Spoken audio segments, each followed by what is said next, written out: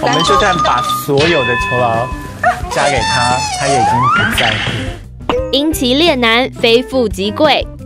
狐狸名模英奇从二零零四年踏进不归路啊，不是啦，是进军名模界，开始施展性感狐媚的招数，闯出一片桃花源。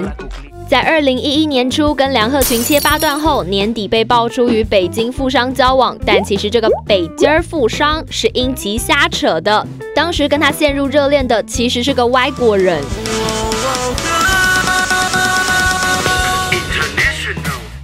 而且这个外国人是个身家近六百亿的戏骨金童，现在是 NBA 灰熊队的 boss 罗伯佩拉。于是打算说，我要我要不要把这个电视台买下？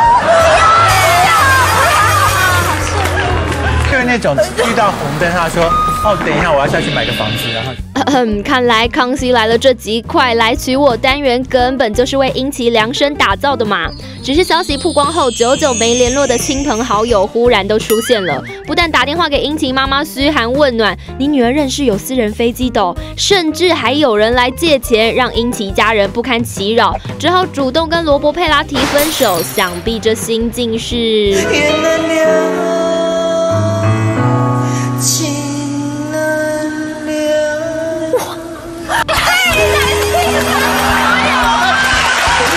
报道。